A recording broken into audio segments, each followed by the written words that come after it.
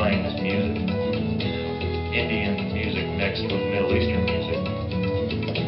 I'm Zach Mechlem. I play guitar, acoustic guitar, uh, resonator guitar. Also play banjo, mandolin.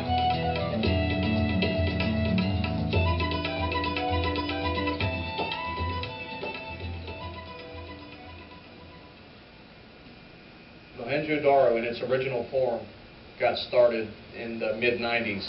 Uh, we did a, like an opening of the Aronoff Center, which is a local uh, place here in Cincinnati. It's an auditorium or a theater.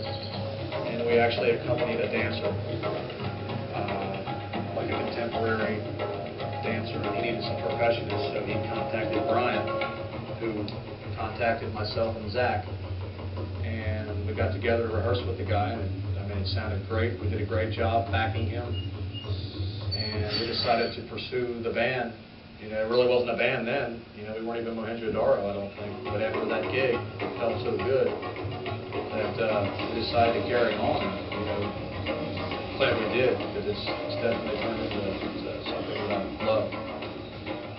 I first met Jim through a mutual friend, uh, Brian Gomian, who was actually uh, one of the co-founders of the band. When we started with Brian, the music was, uh, it was more jam oriented. We would uh, take up a musical idea and just make that evolve into whatever we evolved into.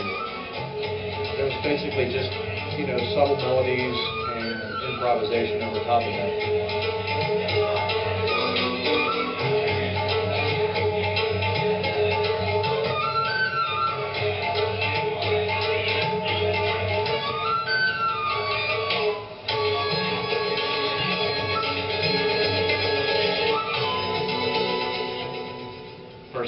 Played with Jim, uh, I mean, it was just automatic chemistry. It was unbelievable. I guess because of our musical compatibility and the, the styles of music that we enjoy, uh, we became, I guess, fast friends. You know, I knew something great was going to come. I began my um, training in percussion uh, at an early age, probably around 12, 13 years old. Uh, my father father bought me my first drum set. I started playing rock and roll, took jazz lessons, and got really heavy into jazz, like free jazz and different things. And through that, I heard tabla. And I don't remember who it was, it may have been Zakir Hussain or Ustad Allah Khansad. But uh, in any case, I had to find out what those drums were. And initially, I just bought them to uh, put them towards the trap kit.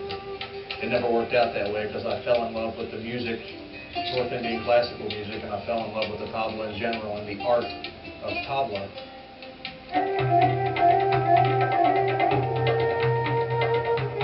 In fourth grade, I went to, started at the School for Creative and Performing Arts in Tennessee. And from there, I studied piano with Willie Fondler. So I had, you know, training in classical music, did a lot of jazz gigs outside of school, and had a lot of uh, exposure to Middle Eastern music due to my mother. She was a belly dancer for all these years, and a very good one at that. She studied locally and performed a lot of conventions, a lot of gigs. Um, uh, I sort of grew up sitting and watching her practice. She would listen to uh, Algerian music, Moroccan music, Turkish, Greek, Armenian, a lot of music from different Arab nations. So.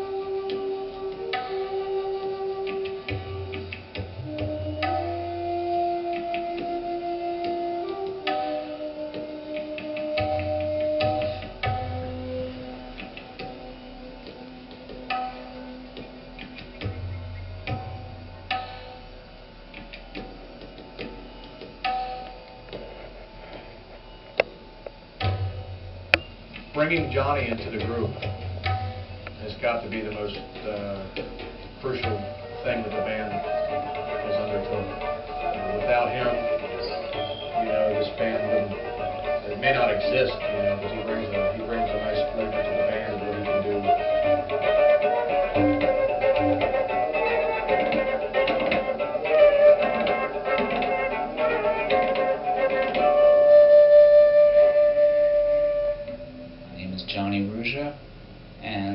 been playing flute and alto flute with Mohenjo-Daro for the last 10 months.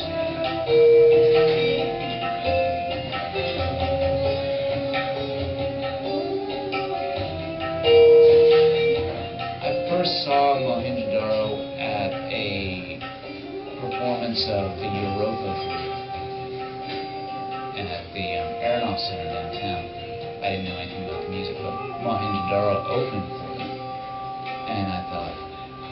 wow, that is a really great group, that they're doing just the kind of sounds that I'm interested in. Um, too bad they already have a flute player, because I wish I was playing flute that group, because they're exactly where I wanted to be.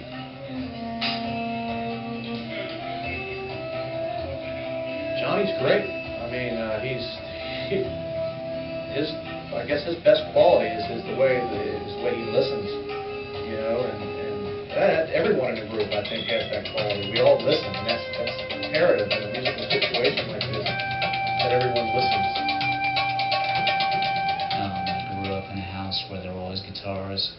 Sort of the folk revival was pretty popular during that time period. And my father had a big musical influence on me. He had his master's degree in music theory, played violin, viola, and was kind of the only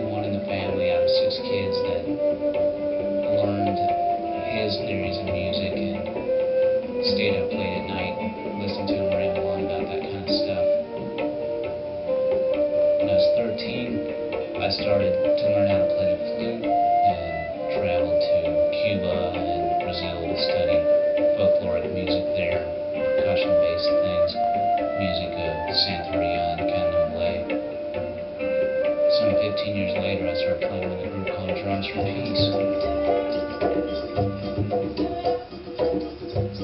When I began playing with Drums for Peace, um, we had a really good doumbek player who Zach took lessons from early on, named Charlie Schweitzer.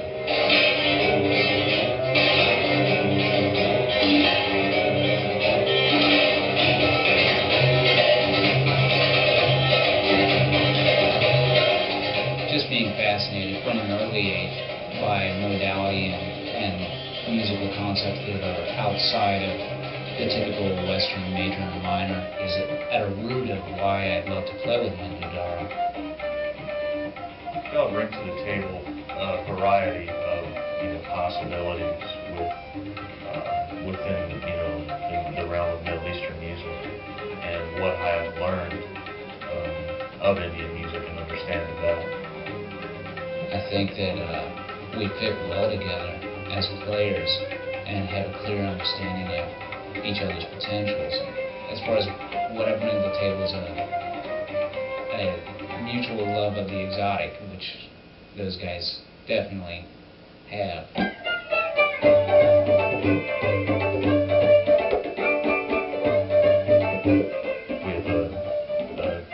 Piece called Sawal Jawab, which means question and answer in Hindi, um, which uh, Jim will sit and explain the piece before we begin. It's a duet between um, Tarabuka and tabla. Uh, what's going to be unique about this rhythm duet is you'll hear me like recite some of these rhythms, just to give you a little idea of what I'm talking about as far as reciting. The way we learn tabla is unique in that every sound that we play, there's a corresponding note that we say with our mouth. This is how you remember the composition. You don't write anything down.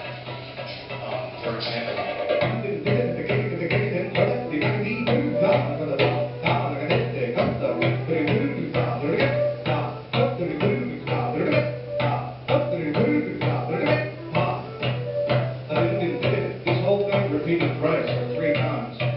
back to the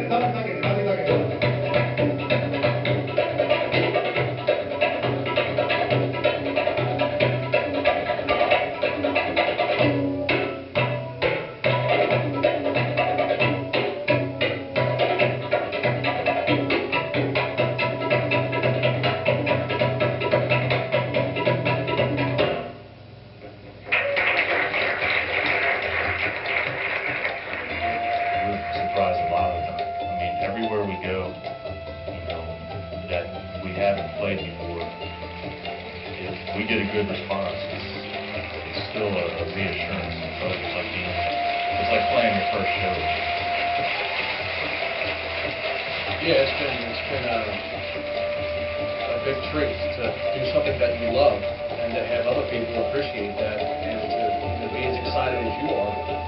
It's definitely a good feeling. I'm proud, you know, and, and humbled by uh, the people who come, come to see us play. Mohenjo-Daro represents uh, the ideal that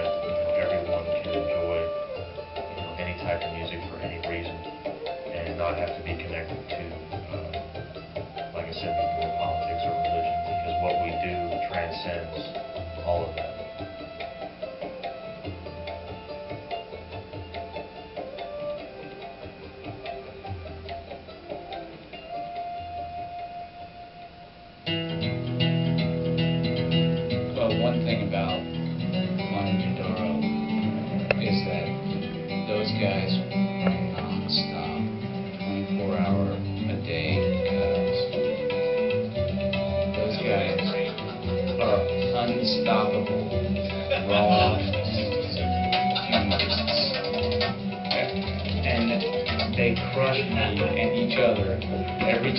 They get. And I don't know if you guys have had a chance to, uh, get throughout all this talking and what we've been doing, there's a lot of other instruments going on, but if you really got a chance to see how quick my hands been? Because it is, I mean, sometimes I'll be playing, and it's, that's one thing I'll think about while I'm playing, I'm like, Jesus, am I really doing this? Is my hand, sometimes my hair is flying back on my head so much from the wind that's know, from my fingertips. And there's little sonic bubbles. oh, yeah, it's moving that fast. Yeah, faster than the standard setup, yeah. So I'm usually like four notes ahead of what I'm supposed to play, It's really hard when I'm playing in 9 8. You're about four bullets away.